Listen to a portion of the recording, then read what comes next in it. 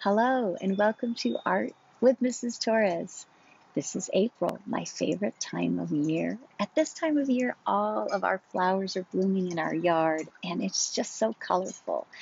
At this time of year in April, my Armenian friends are celebrating their culture, and there is an Armenian artist named Martiros Saryan that I want to teach you about today.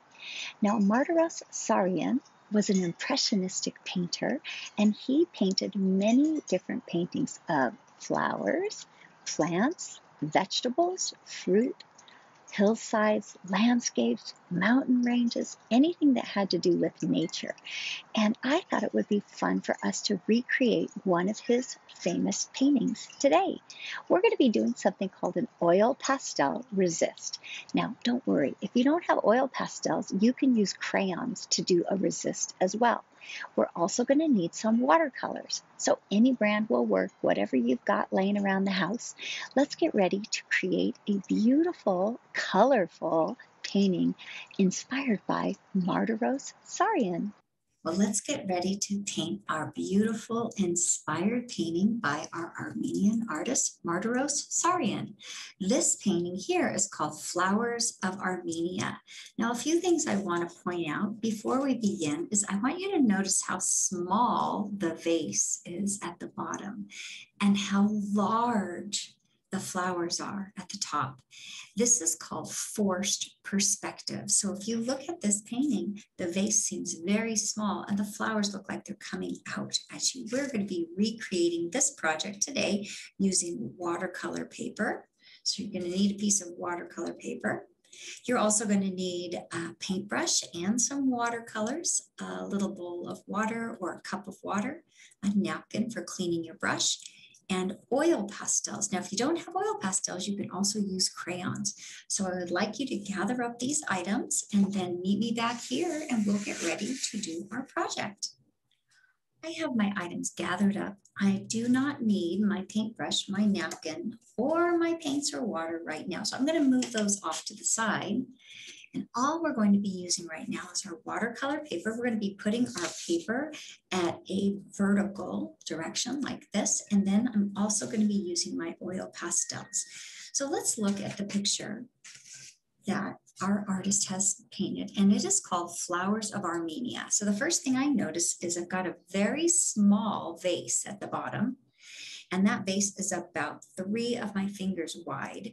Now, if you look at the arrangement of the flowers, they form a large, kind of like an upside down triangle like this. Do you see that? So this is called forced perspective because these flowers, it almost looks like you're up above them looking down and the vase is a little farther from you. So we're going to be creating the same illusion using our oil pastels. We don't even need a pencil today. We're just going to go straight in with our oil pastels. I want your paper to be vertical and we're going to start toward the very bottom and about three fingers wide is how big we're going to make our little vase. So I'm going to be using a light green oil pastel. And remember, if you don't have oil pastels, just grab crayons. They work just as good. And we're going to be making a mark in the center of our paper down at the bottom. So I'm going to find the center at the bottom and make a little dot with my oil pastel. That's where I'm going to find the center of my vase. So I'm going to put my center finger there and two fingers next to it. So this finger is right on top of that dot. I'm going to put two fingers, one on each side. And then I'm going to make a little mark on this side and a little mark on that side. So that is how big I want my vase to be. Now what I'm going to do is just draw a smile that connects those dots. And this is going to be the base of my vase. Now it looks as if it just kind of curves around a little bit. So I'm going to kind of loop it around here and here. I'm not going to make it very big. And then it loops up again for the lip. So I'm going to make a little lip here and a little lip on the face here. And then I'm going to swoop it around just like the top of the vase here. And I'm going to make the second part of the lip of the vase. So I'm just going to curve it around here. And then you can see that there's a darker green stripe inside. So what we're going to be doing today is a resist. So we don't want to use too much oil pastel. We're just going to use a little bit for outlining and a couple scribbles for shading, but we're gonna be doing all of the color with our painting actually. So over here, I'm just gonna put a little scribble, just a couple lines for the shading on the side of my vase. And I'm gonna do a little bit on this side. Now you can see I'm leaving most of it with the paper. Then I'm going to put this color away. I'm going to move in with a darker green. And now I'm going to take my darker green. And by the way, if you don't have any of the colors that I am pulling out, then just go ahead and experiment with something different. So I'm going to make a little stripe through the middle and I'm going to redraw the bottom of the lip of the vase here, but I'm not going to color it in. I'm going to wait and do that later with my paint. I'm just going to color a little scribble on this side and a little scribble on that side. Now I'm going to come up and I'm seeing right here that these are going to be the stems. And then once again, I'm going to point out how big the flowers are. So I'm going to take my green and I'm going to make a little mark here and a little mark here. So that is where all of my stems are going to be coming out of my vase. And then what I'm going to be hoping to do is fill up the top of this in kind of a funnel shape like this. So I'm going to have my flowers all creating a big funnel. So I'm going to switch over now and start working with some light colors. So the first color I'm going to look for in my pastel box is yellow. Now I've got two different kinds of yellow in my box. You can grab whatever yellow works for you. So as I'm looking at his arrangement, I see some clusters of flowers toward the bottom here. So I'm just going to scribble a little cloud shape like this. Do a second one and a third one. I'm just kind of repeating what I see here. I also see a couple little yellow puffs up here. So thinking about making it larger at the top and toward the sides, I'm gonna make a little fluff of yellow here. I see another one up above here. So I'm gonna come up here toward the corner, toward the edge of the paper and make one. And then there's one up a little higher. Now if I look at the top of the painting, he's got a whole bunch of yellow up there. So I'm just going to make a little scribble of yellow. And then he has another large section of yellow over here. So I'm just going to make another scribble out there. As, as you can see, I'm just kind of playing. I'm not really worrying about the shapes being perfect. And I'm not worrying about my placement being perfect either. Now I've got some yellow over here. So I'm going to make another little cloud shape. And then do you see the centers of the flowers here? They're yellow, so that's three circles up here and one below. So I'm just gonna go one, two, three. There's a little space of yellow in the center of that pretty pink flower. So that kind of looks like a star shape. There you go, something like that. Now, as you can see, my proportions are going to look different than yours and different than his, and that is absolutely okay. So I'm going to move off with my yellow. I'm going to move over to an orange color now. So the orange is going to help our yellow to pop a little bit more later and not get washed out. So I'm going to take my orange and I'm going to kind of scribble some outlines around my orange. Now, I have a couple different shades of orange in my pastel box. You can pick which orange you want to work with. I'm going to be working with the brighter one, I think.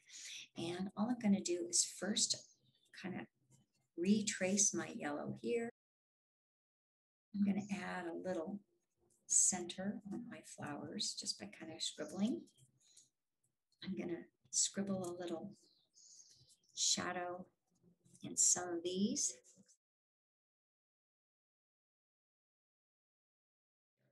So now I'm going to go in and where I see pink in my picture, I'm going to start adding some pink. So I see some pink right here, like a little puff ball. So I'm going to make a little puff ball there. There's another one that surrounds this yellow. So I'm going to retrace my center here by making these petals. And you can see that there's, an, it's dark pink in the middle and light pink on the outside. So I'm going to retrace it again. And then below that, over here, there's a pretty little puff ball of pink. So I'm just gonna come over here and make a little circle. and it has a little darker center in the center. So I'm gonna go like that. I see some pink over here. I also see some light shades of pink in here. So I am gonna start to scribble some little stalks of pink every so often. I'm going to be blending some purple and blue over these later. And you see, I am not copying his work exactly. I'm just kind of playing around. So have some fun with it. As you can see, each time I do it, it's a little bit different. You can see where my pink was scribbled in. I like this little flower up here. It's got lavender and some pink in it. So I'm going to add that one to my picture. Make a little center in there. And then up here, also see some pink and a little cluster of flowers up where that yellow flower is. So I'm just gonna actually fill it in and put a couple pink little circles in there. Now that oil pastel is gonna resist the watercolor later. So anywhere where you want it to stay light pink, you can actually color it in. So I can color in this little section right here on the flower. That will stay light pink and then I can paint over it and wherever the paper is, the paper is going to absorb the watercolor. So there will be some resist from the oil pastel. And then wherever there's paper, it's going to be a darker color. I'm going to scribble a little pink in there. And I also see a flower down here that I'm going to add in my picture. So wibbly wobbly flower. And then I'll add some purple to it later. All right, I'm gonna put my pink away and I'm gonna move on now to purple. So in my box, I've got a couple different shades of purple. You can go ahead and grab whatever sh shade that you would like to work with. And this is where I'm gonna really start adding a lot more scribbles. So if you notice, there's a bunch of stalks of lavender right here in his flower arrangement. So I am gonna start scribbling in some purple and since I have more than one shade of purple in my box, I will trade over and use a different shade later. So I'm gonna also make kind of these little loop shapes. So I'm gonna make, you can do this by starting with a line if it's easier. And then I'm just gonna make loops, left, right, left, right, kind of like you're making bunny ears all the way down. And you can make it get a little smaller as it gets to the top. You can see those right here. He's got another one here and here and here. So these are really easy to draw. You just have to start with a straight line. And then you can start from the bottom if that's easier. I find it easier to go from the top down, but maybe you find it easier to go this direction.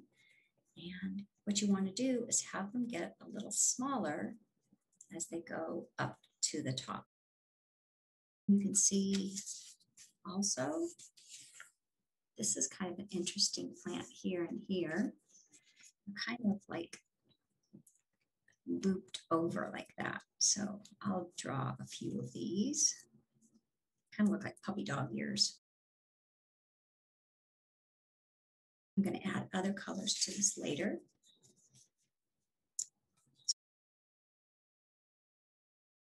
I'm going to do another little scribble right here. And you want to make sure that those colors come all the way down into the vase too.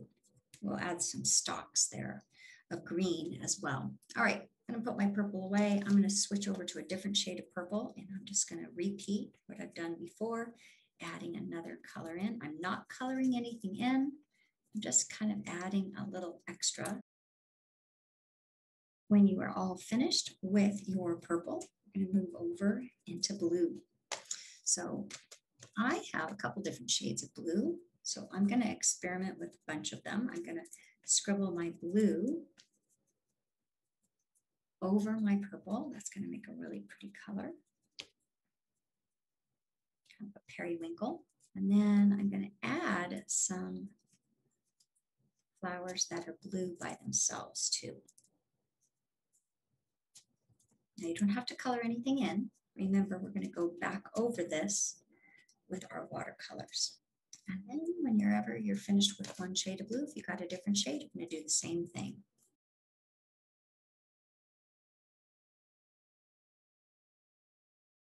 Whenever you're finished with your blue, go ahead and put that color back. Our final color before we start painting is green. So I'm gonna be taking a lime green, a light green. I think this is a great color to kind of add some foliage with. So I made these little pink puff balls up here.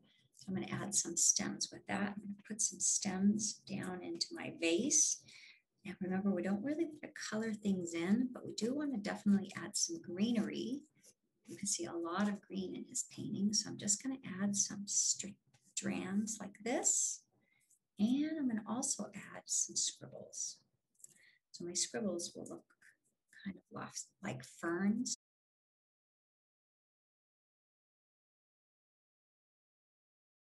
If you have a darker shade of green, you can go in and pop in some dark green just to kind of break it up.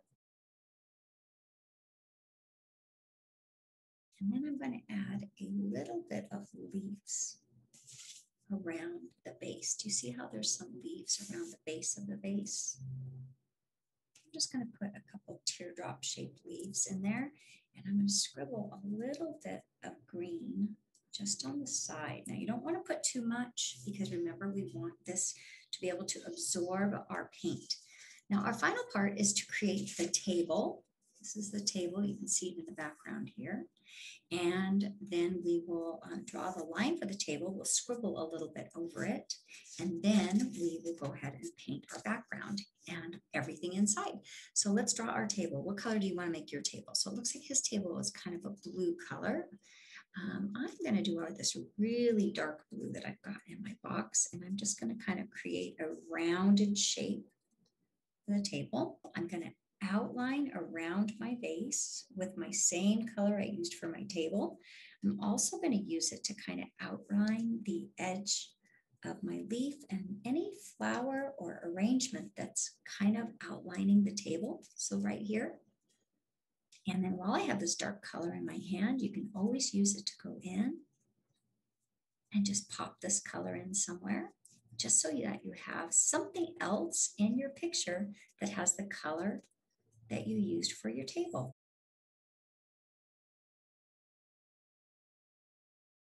Once you're done with that, I'm going to have you just take your color and don't color the entire table. You want to leave a lot of paper showing. We're just lightly scribbling it. You see how I see still have a lot of paper showing? You can make it a little darker around the bottom of the vase just to cast a shadow. Now we're ready to paint. So I'm gonna go ahead and put my pastels away. I'm gonna move in with my water. I am a lefty, so my water cup is going on my left-hand side. My paints are gonna go on my left-hand side. My paintbrush and my napkin. So let's clean our brush. Make sure we start with the lightest color first. That way our water doesn't get too dirty. And the first thing we're going to start with is yellow. Now, remember, our oil pastel is going to be resisting our paint. So the first thing I'm going to do is drop some water into my yellow paint. And while you're at it, just go ahead and put a couple drops in each one of the colors. We will not be using any brown and we will not be using any black today. So my first color, I'm going to be working with this yellow. It's my lightest color. I am definitely not going to be sticking my brush into the yellow paint. I just want to kind of tickle the water that's floating on top. And everywhere I see yellow in this painting, that's where I'm going to add my yellow water. So I'm just going to paint very quickly with a little bit of water and that paint water right over the flowers. Now you can see as I do this, that it resists against the oil pastel and that oil pastel pops right through the paint. So a little bit of water, making sure you're working with a nice watery paint. Everywhere you see yellow, you're just gonna tickle your paintbrush into it and put that into your painting. Now you might notice a little bit of that oil pastel or your crayon will start floating in your paint water and that is okay. So I finished my yellow already. It's looking beautiful. And now I'm going to go in and I'm going to do my next color. So I'm going to move in now to some orange. So I'm going to get a little bit of orange on my brush. And in some of my yellow, I'm just going to put a little bit of orange. As you can see, I am not worrying about things being perfect. I'm just literally tapping my brush in there.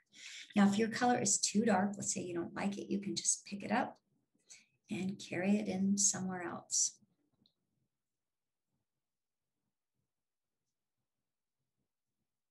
My next color I'm going to tickle into my painting is pink. Now, I don't have pink in my Crayola set. I don't have pink, but I have red. So I'm going to tap my brush into that red paint water. And as long as I dilute it with a lot of water, I will get something that looks close to a pink. So I'm going to take that red paint water. If you have pink, go ahead and paint with it. And I'm going to paint that into all of my sections that I put pink oil pastel in. Out my brush. And now we're going to move on to purple. Does your color set have purple? Mine does have purple. It just doesn't have pink. So now with my purple, I'm going to go in. My purple is really dark. So I'm going to scoop it up and add a little bit more water to it to carry that color over into some other spots.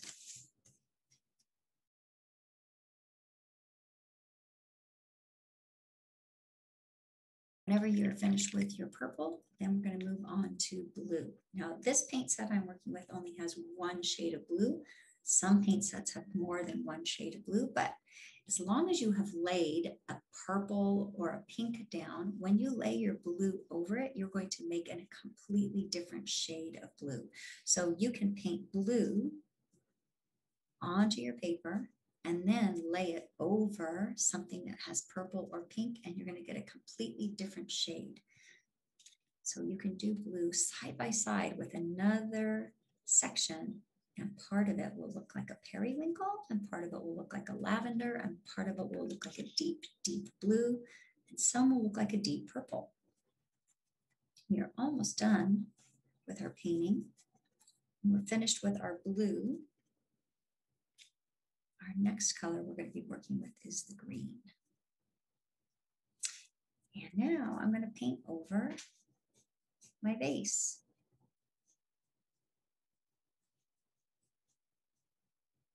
I'm going to paint over my leaves. Grab that paint water and go in and paint over anything I painted or drew green earlier. Also, if you have any spaces in between the flowers, this is a good time to take that green paint water and fill that in as well. Oh, this is turning out so pretty. How is yours turning out? I hope you're enjoying the project. Now, we are almost done. Our final part, oops, I got some green in my yellow flower. So if you can see what I'm doing, I'm gonna take my paintbrush and I'm going to scoop it up by wiping my brush off on my napkin. And I use my brush kind of like a Q-tip. So you can see I pulled all that color out. I'm going to pull this purple out too. And I'm going to dry that area with my brush as best I can. Now I can go back in with a clean brush and I can reload my yellow back into my flower. So our final part will be painting our table and also the background. So I copied what the artist did in this painting. It looked like his table was kind of a blue color and he did some warm colors up in the top. So I mixed in some yellows and oranges and reds, but you can create your table and your background with any color scheme you'd like. So for instance, this time, maybe I don't want to do a blue table, maybe I want to do a purple table. So instead of using blue, I think I will do some shades of purple. So I'm going to grab some purple on my brush, add a little bit of water to it, and spread that out.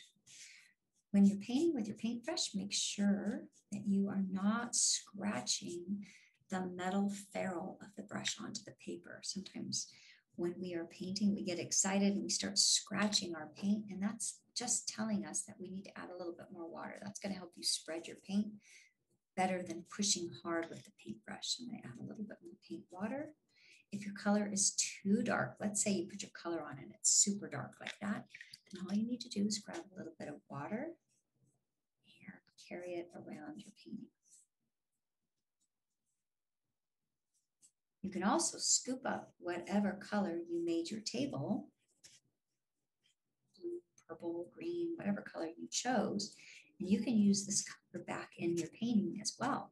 So I could scoop up this leftover color and go in and tap it into my flowers. So our final part will be to be painting our background, the sky around here. So if we looked at his painting, he did some warm colors, yellows, oranges.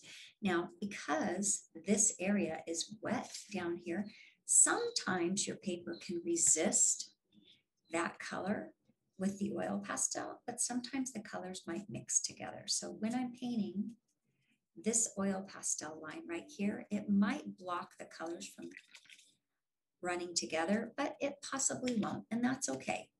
So I'm gonna start by working at the top of my painting. So I'm gonna turn my painting so you can see the top. And I'm gonna add just a little bit of water up here. Now right there, you see how wet that section is with the green. My green is gonna leak into my background. I'm not worried about it. I think it's gonna be absolutely beautiful. I'm not concerned. Just adding a little water up at the top. And I'm gonna start with yellow. Oops, there goes my green. Did you see? It's exploding. So I really liked the colors that he used in his. So I'm gonna go in now and pop in a little orange.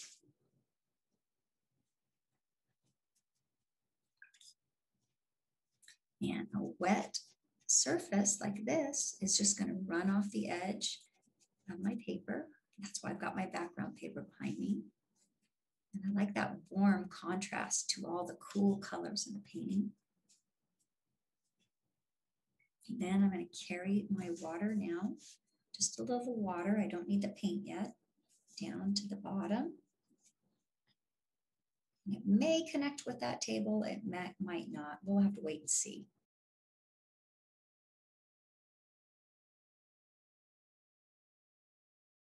Do my other side of my painting, so I'm going to turn it carefully around this direction. Water first.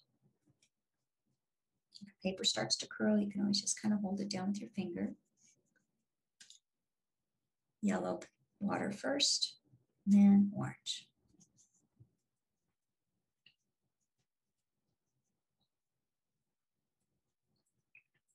So I hope you had fun today making our Martiros Saryan inspired painting. This painting in his original was called Flowers of Armenia. I think ours turned out just as beautiful. What do you think? I had fun teaching you about our artist today, and I hope you had fun. And I look forward to seeing your painting. Why don't you send me a picture of your work to rtorres at lcusd.net? And I'll see you for our next lesson. Thank you. Have a great day.